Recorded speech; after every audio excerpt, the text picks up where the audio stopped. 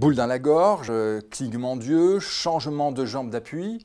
Saviez-vous qu'il suffit de moins d'une demi-seconde pour que notre langage corporel laisse transpirer l'inconfort ou la contradiction interne?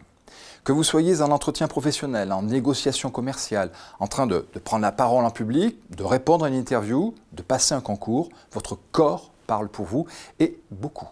En fait, il est impossible de ne pas communiquer non verbalement. Même un silence en fait partie.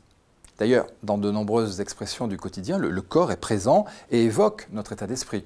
Ainsi, il y a celui qui, après avoir appris une mauvaise nouvelle, déclare euh, J'en ai les bras qui m'en tombent ou encore celle qui, en pleine négociation, se préoccupe de ne pas perdre la face. Et vous, quelles sont les autres expressions qui vous viennent à l'esprit?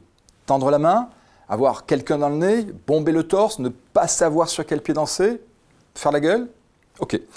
Nous sommes sur euh, la même longueur d'onde. Je ne vous étonnerai donc pas si je vous dis que le langage corporel est notre premier mode de communication des sentiments et des émotions.